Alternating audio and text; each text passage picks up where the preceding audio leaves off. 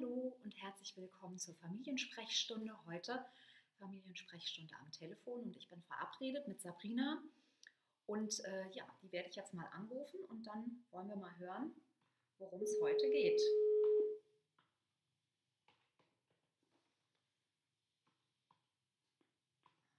Da, lange Nummer.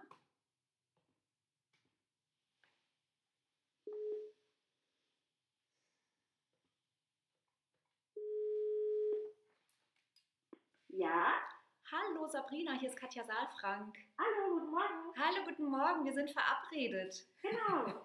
Ja, du hast mir schon einiges geschrieben, aber ich frage jetzt trotzdem mal auch für diejenigen, die sozusagen zuhören, worum geht's dir? Das ist auch schon ein bisschen her, vielleicht hat sich auch was verändert. Ähm, manchmal verschieben sich ja auch noch mal so Schwerpunkte.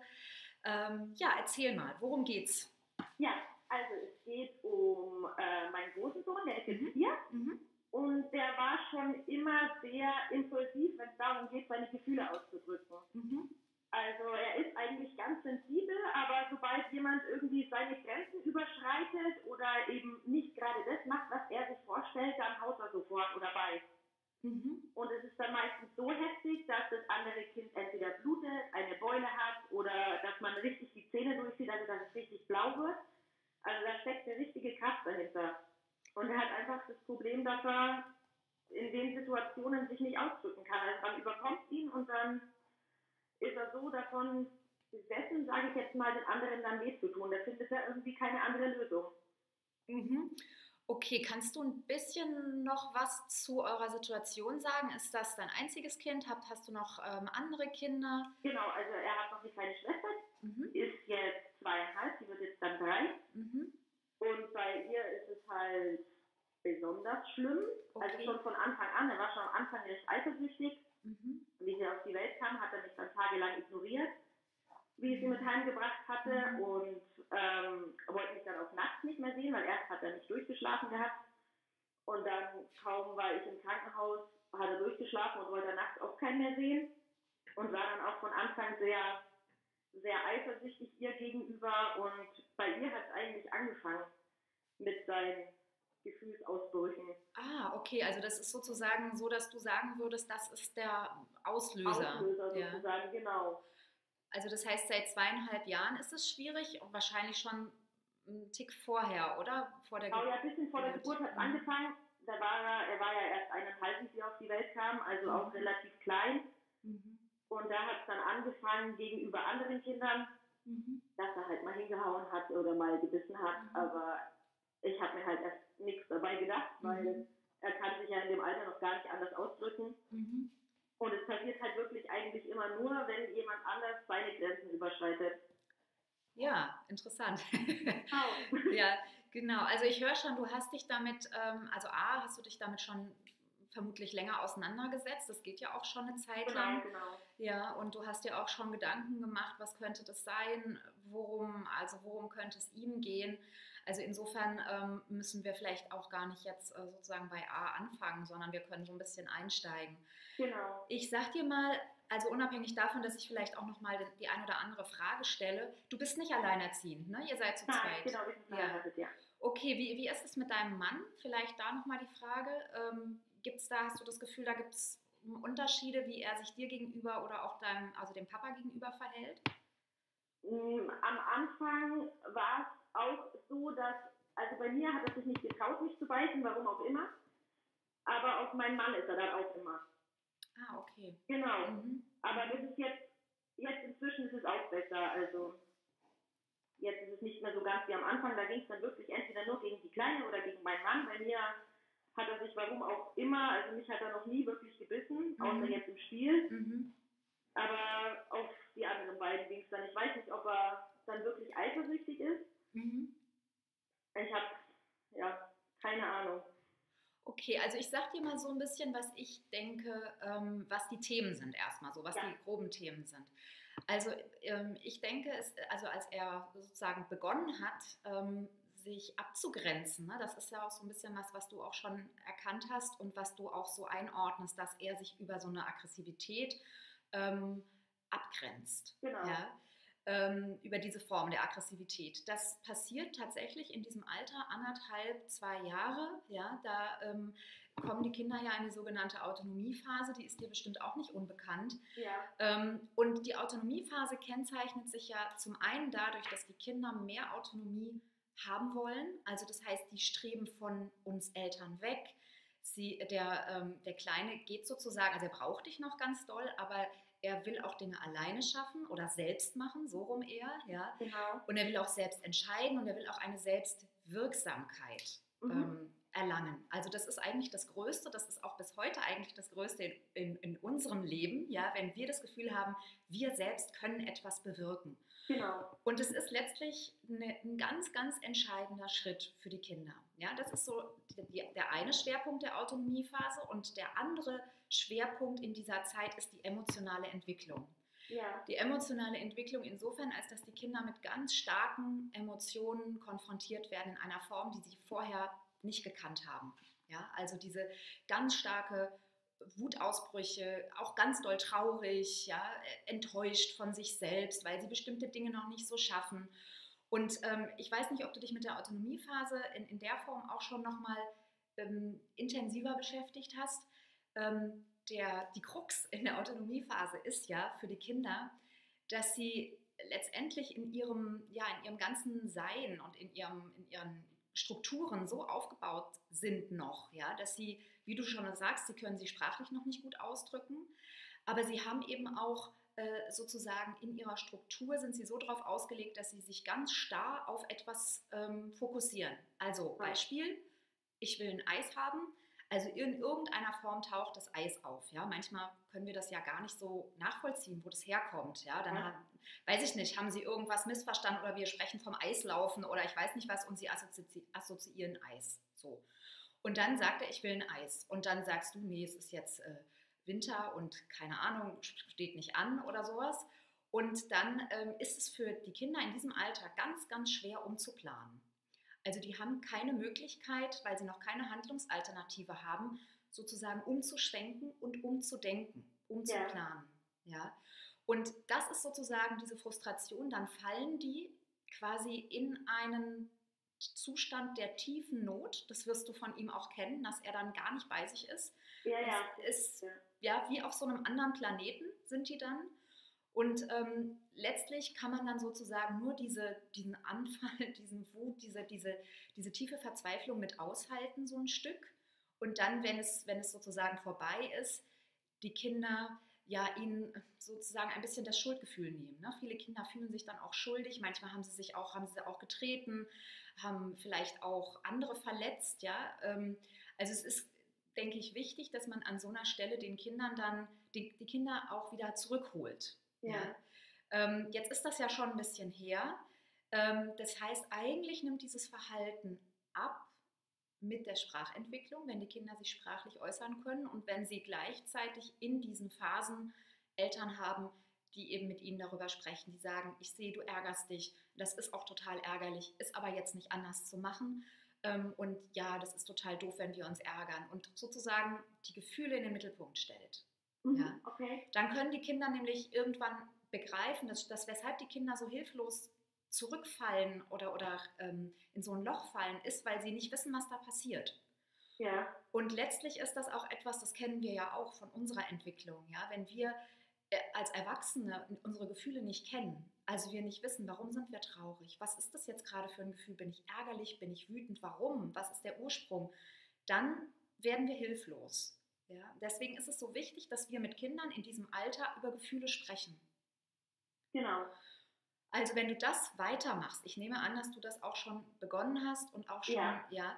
Und wichtig, also Ziel letztlich in dieser Phase, die ja jetzt auch noch andauert, ja. Ja. Also es ist nicht so, dass die das dann mit zwei können oder mit drei oder mit vier, ja, sondern das ist letztlich eine emotionale Entwicklung, die dauert quasi bis über die Pubertät. Es gibt immer wieder Phasen, da läuft es mal besser, dann gibt es mal wieder Frustration, damit kommen die Kinder schlechter klar. Und gut ist, wenn sie eben Eltern an ihrer Seite haben, die nicht die Situation, also Ziel ist nicht die Situation zu verhindern, ja, die Frustration, sondern Ziel ist, die Kinder nicht damit alleine zu lassen.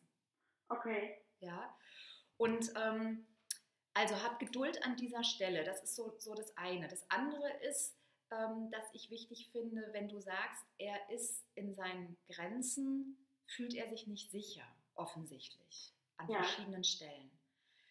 Ähm, dass du nochmal schaust, an welchen Stellen werden denn tatsächlich seine Grenzen überschritten.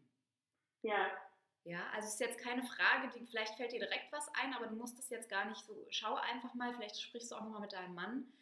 Wo ist denn dein Sohn sicher? Wo kann er sich sicher fühlen? Hat er ein Zimmer, wo er sich zurückziehen kann? Also räumliche Grenzen, aber auch psychische Grenzen. Ja, also wo fühlt er sich unter Umständen angegriffen? Wo werden seine Grenzen überschritten? Also einfach, weil es manchmal ja so ist, wenn Kinder ganz arg doll grenzüberschreitend sind, dass, ähm, ja, dass sie dann auch viele Grenzüberschreitungen bei sich erleben. Ja? ja, okay. Und dass man da besonders achtsam ist und wirklich auf gar keinen Fall Grenzen überschreitet, weil nur wenn die Kinder spüren, meine Grenze ist sicher und wird nicht übertreten, werden sie auch die Erfahrung machen oder werden sie Handlungsalternativen finden dafür, wenn ihre Grenze überschritten wird. Ja. Okay, dann schauen wir da nochmal. Wie, wie reagierst du denn, wenn ähm, deine Grenze überschritten wird? Ja, also ich ziehe mich dann meistens zurück, Mhm. Bevor, bevor ich dann irgendwas sage, weil normalerweise bin ich eigentlich sehr impulsiv Mhm. und ich gehe dann lieber erstmal, ich sage, ich brauche kurz meine Ruhe und gehe dann erstmal in ein anderes Zimmer, einfach um ein bisschen runterzukommen. Mhm. Nicht, dass ich dann noch was Falsches sage oder laut werde, was halt leider manchmal vorkommt, wenn er dann ihr wehtut. Mhm. Das überkommt dann einen einfach so. Aber ansonsten ziehe ich mich eigentlich eher immer zurück. Okay, also, aber gibst du auch eine Antwort? Also, weil zurückziehen ist ja sozusagen, also Rückzug ist ja eine Antwort sozusagen zwischen den Zeilen. Ne? Das heißt, ich kann gerade nicht mehr. Ja, Positionierst du dich auch? ja, ja. Also ich, ich versuche ihm auch zu erklären. Also bis hierhin und nicht weiter. Mhm. Das ist mir jetzt zu viel und warum und wieso. Ich versuche ihm das alles zu erklären. Mhm. Und wenn es dann mir zu viel wird, dann ziehe ich mich lieber zurück. Erstmal. Okay, also wir kommen auch gleich noch zu, zu der kleinen Schwester, weil ich glaube, dass das auch noch mit einer Rolle spielt. Ähm, von, von meinem Gefühl jetzt gerade würde ich einmal dir gerne den Hinweis geben, nicht so viel zu sprechen an so Okay. einer Stelle. Erklär ihm nicht, warum, wieso, weshalb, so viel. Mhm. Weil aus meiner Erfahrung, er macht das jetzt seit anderthalb Jahren, äh, nee, seit, seit er anderthalb ist. Ne? Also er hat das, es ist ein langes Muster, über zwei Jahre. Ja, Also das heißt, er weiß das. Du sagst ihm nichts Neues. Und das, was du versuchst mit ihm zu besprechen, ist über den Kopf. Du Okay. möchtest ihn quasi überzeugen. Du, möchtest, du sagst ihm, guck mal, das tut ihr weh oder ich möchte das nicht, habe ich dir doch schon x-mal gesagt, haben wir das schon besprochen, solche Sachen. Und das sind Sachen, die gehen über den Kopf. Aber was macht man denn, wenn man im Herzen trotzdem traurig und unzufrieden ist? Also weißt du, es macht es nicht besser sozusagen. Und deswegen wäre es gut, wenn du nicht so viel erklärst, weil er ja dann immer wieder nur die hört, das sollst du nicht machen. okay. Ja? Wir sprechen gleich auch nochmal darüber, was du stattdessen machen kannst. Ich würde gerne sozusagen in diese emotionale Entwicklung, die wir besprochen haben, und die Autonomiephase, die wir besprochen haben, jetzt Ja. noch als drittes mit, einfü ähm, mit, mit hinzufügen, einen dritten Punkt, nämlich ähm, ja, ein, letztlich eine biografische Krise. Ja, Und diese biografische Krise ist, ähm, ja, ist letztlich, äh, dass die kleine Schwester geboren wurde. genau. Ja? Und diese biografische Krise, die unterschätzen wir ganz oft. Ähm, also, also es ist ja eine Situation, die, die für die Kinder hochproblematisch ist. Hast du eine Idee, mh, was da so problematisch dran sein könnte? Also was sind deine Gedanken dazu? Weil das ist ja auch nichts Neues für dich, dass das jetzt noch ein Aspekt ist, der dazukommt. Genau, also ich glaube, dass es eher daran lag, weil er uns teilen musste. Mhm. Also die Kleine war wirklich am Anfang, es ging die ersten vier Monate, hat sie eigentlich viel geschlafen, aber dann immer nur geweint und nur tragen und bei uns schlafen und es hat eben dann auch angefangen, dass er dann bei uns schlafen wollte, eben weil sie auch bei uns schlafen darf. Mhm. Und er wollte halt dann immer das Gleiche und, und die gleiche Aufmerksamkeit. Und ich glaube, da hat er am Anfang dann schon arg zurückstecken müssen, weil sie halt eben wirklich auf einen gelebt hat. Also sie war nonstop nur im Tragetuch Mhm. oder an der Brust. Also sie hat wirklich sehr, sehr viel gefordert gehabt, gerade am Anfang. Ja, so ist das. Ja, ja, genau. Und ich glaube, da genau. hat er halt viel, weil er war ja auch recht klein. Er hat halt wahrscheinlich auch nicht verstanden so wirklich, warum, was jetzt da passiert. Ja, naja, und selbst, weißt du, selbst wenn er, also ich glaube, er hat es sehr verstanden, was da passiert. Also verstehen ist ja, macht es ja oft auch dann nicht besser, weil wie gesagt, wenn das Gefühl trotzdem da ist. Ja. ja.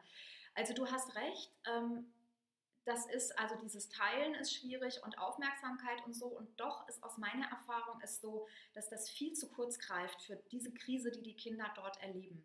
Mhm. Also es ist ja tatsächlich eine Krise insofern, als dass ihr erlebt alle einen Gewinn.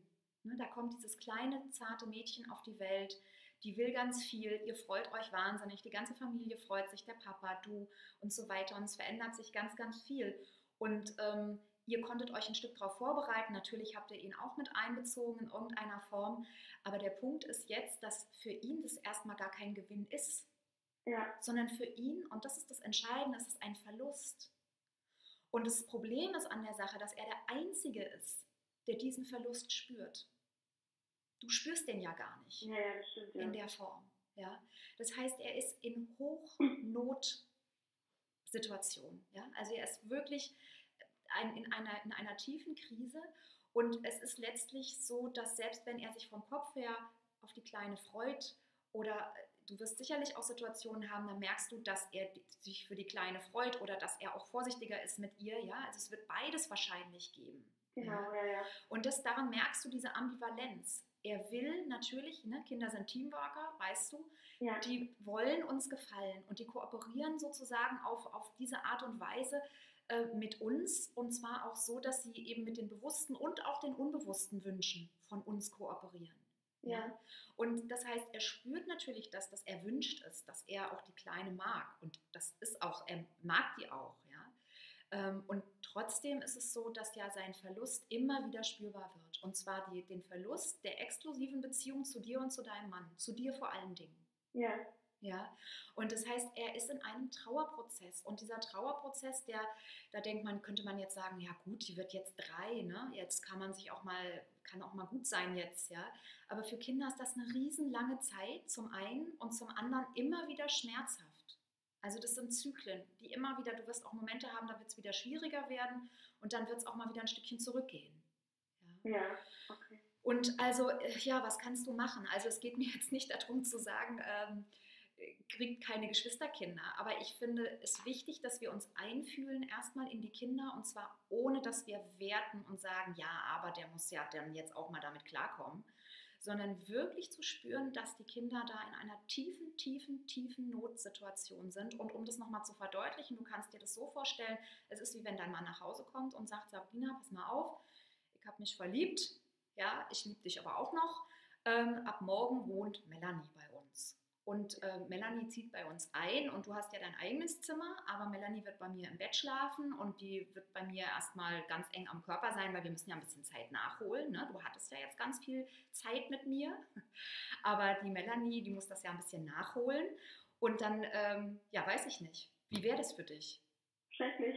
Ja, aber spür dich mal wirklich rein, ja, weil das, ähm, das heißt, dein Mann kündigt letztlich dir eine Exklusivität auf. Ihr zwei, ihr habt geheiratet, ihr habt euch versprochen, nehme ich mal an, ja, ja. dass ihr sozusagen zumindest in der Sexualität und auch in anderen Bereichen eine Exklusivität habt miteinander. Mhm. Und diese Exklusivität kündigt er einseitig auf. Und jetzt hast du als erwachsene Frau natürlich die Möglichkeit zu sagen, okay, ähm, das überlege ich mir, so haben wir nicht gewettet, dann trenne ich mich. Das hat ja dein Sohn gar nicht, diese Option. Ne? Ja, ja, klar.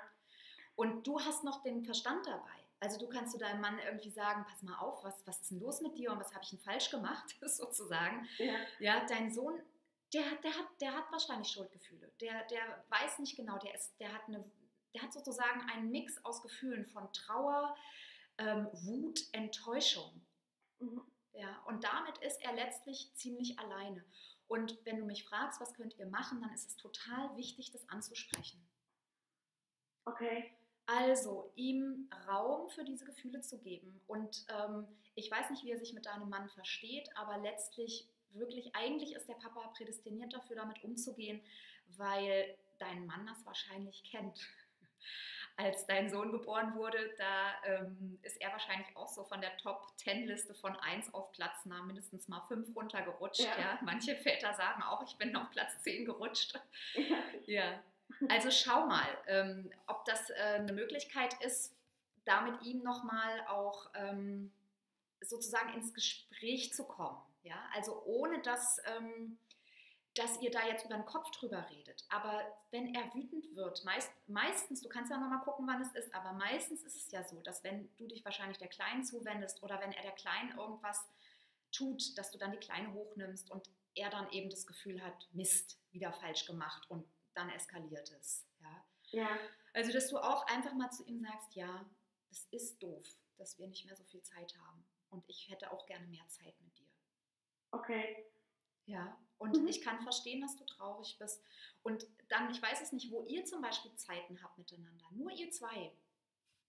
Ja, das ist immer relativ schwierig, weil wir hier niemanden haben. Mhm. Also keine Verwandten oder mhm. irgendjemanden, der dann mal mhm. auf die Kleine aufpassen könnte. Mhm. Wenn wir jetzt dann immer zu Oma und Opa zu Besuch fahren, dann schaue ich schon, dass, dass nur ich was mit ihm mache oder nur mein Mann mit ihm oder nur wir zwei mit ihm. Und dass die Kleine dann bei Oma und Opa bleibt, dass wir dann immer irgendwas extra mit ihm machen? Also ich würde mir an deiner Stelle ähm, wirklich am Tag versuchen, und wenn das nur zehn Minuten sind, es geht nicht darum, einen ganzen Tag zu machen, das ist oft auch anstrengend. Mhm, ja, ja klar. Ähm, und es müssen vielleicht auch gar nicht mehrere Stunden sein, aber wenn du kannst, versuch doch mal in euren täglichen Rhythmus verlässliche Zeiten einzubauen, also eine verlässliche Zeit zumindest, vielleicht am Abend, ja. Ja, wo nur ihr was macht und vielleicht, ich weiß es nicht, vielleicht bastelt ihr tatsächlich ein Schild. Ähm, Mama Sohnzeit, ich weiß jetzt gar nicht, wie er heißt, wollen wir auch nicht sagen, ähm, aber dann und dann bastelt ihr beide dieses Schild und es hängt ihr sozusagen an die Tür, wenn ihr beide etwas miteinander macht, sodass das wirklich einen Schwerpunkt bekommt. Nur ihr beide macht etwas zusammen. Und vielleicht kannst du auch tatsächlich, er ist ja jetzt schon vier, vielleicht kannst du auch tatsächlich mal, hm, ich weiß nicht, wie ihr miteinander sprechen könnt, aber dass du auch ihm nochmal sagst, du, ich merke, dass wir uns immer wieder verhakeln und ich habe das Gefühl, dass du vielleicht ein bisschen Sehnsucht danach hast, mit mir Sachen alleine zu machen und ich habe auch Sehnsucht. Und ich möchte das gerne für die Zeiten, für, für jetzt verändern. Ich möchte gerne jetzt eine Zeit nur mit dir haben, komm, lass uns was basteln und lass uns schauen, wann wir das schaffen. Okay, ja, super. Ja, und da sozusagen, du holst ihn wieder rein. Mhm. Ja, also das ist sozusagen das, was du zu Hause machen kannst. Ja. Das andere, wenn er zum Beispiel mit anderen Kindern so ist, ja, das könnte, also das könnte verstärkt der Fall sein, weil er sich zu Hause nicht anerkannt und ähm, geliebt fühlt, sage ich jetzt nicht, weil ihr ihm die Liebe nicht gebt, sondern weil das sein Gefühl ist. Ja? Er stellt in Frage, bin ich genügend geliebt, bin ich anerkannt und gemocht, so wie ich bin. Ähm, das kann das verstärken. Deswegen schau doch wirklich, wo gehst du hin? Ähm, wie ist dort die Situation? Ähm, also sozusagen ein bisschen antizipieren, ein bisschen vorausschauend. Ja? ja? Wenn du siehst, er rast auf die Kleine zu oder du siehst, du kennst ihn ja am besten. Ja? Mhm. Er macht irgendetwas ähm, oder du merkst, er ist heute nicht gut drauf oder da ist ein Kind, was ihn anpiekst oder so. Ja? Unterstütz ihn, sei bei ihm. Ja? Mach's mit ihm zusammen. Schau, dass er sich nicht abgrenzen muss über diese Form. Ja? Und Ziel ist, dass er sich abgrenzen kann irgendwann, ohne dass er sich oder andere verletzt. Okay. Ja? ja. Und das kannst du auch ihm schon mal sagen. Also du kannst auch sagen, das ist total okay, wenn du das nicht möchtest. Wir versuchen das, ohne dass du dir oder anderen wehtust. Mhm. Ja? Und okay, sprich mit ihm auch darüber, was du machst, ne? so wie du es vorhin mir erzählt hast. Genau. Mama ärgert sich dann auch ganz doll und dann kann man aufstampfen mit dem Fuß, man kann mal die Tür knallen, ja, und dann zieht man sich zurück. Aber aufpassen, dass nichts kaputt geht und dass keiner verletzt wird. Ja, okay. Ja? Okay. Ja, wie geht's dir mit dem, was wir jetzt besprochen haben? Besser. Ja? Besser, ja. Weil bei den meisten wird man ja nicht wirklich so verstanden. Die kommen dann immer gleich mit Strafe mhm, mhm. oder dies und das und Strafen, Regeln, Konsequenzen. Ja, ja, ja, ja. ja. Und äh, da schalte ich ja dann sowieso ab, wenn sie mit sowas kommen. Und dann. Ja, das äh, genau, ich genau, aber also das ähm, Genau, das, das verstärkt ja letztlich das Verhalten. Ja, ja, klar. Ne? Ja, genau. Ja, schön. Sabrina, ich freue mich, dass du äh, Kontakt aufgenommen hast zu mir und ich würde mich freuen, mal ab und zu was zu hören. Wie ist es ausgegangen oder wie geht es weiter? Es geht ja nie aus. Ja. ja, und ähm, ob du sozusagen mit den Gedanken, die wir ähm, entwickelt haben, ob du damit was anfangen konntest dann auch im Alltag. Genau. Ja, Sag auf jeden Fall Bescheid. okay, super. Dann wünsche ich dir noch einen guten Tag und bedanke mich für dein Vertrauen und deine Ja, und Offenheit. danke für die Hilfe. Ja, gerne. Alles Danke, Gute. schönen Tag. Ja, dir auch. Tschüss. Tschüss. Ja, das war Sabrina und ähm, das war sozusagen, ja, das war ein, eine Mischung aus verschiedenen Themen, Aggressivität, also emotionale Entwicklung, Autonomiephase und Geschwisterkonflikt. Es gibt bestimmt ganz viele Eltern, die äh, genau diese Situation auch haben und ähm, ja, das ähm, sind einige Gedanken, die hilfreich sein können, um damit im Alltag umzugehen.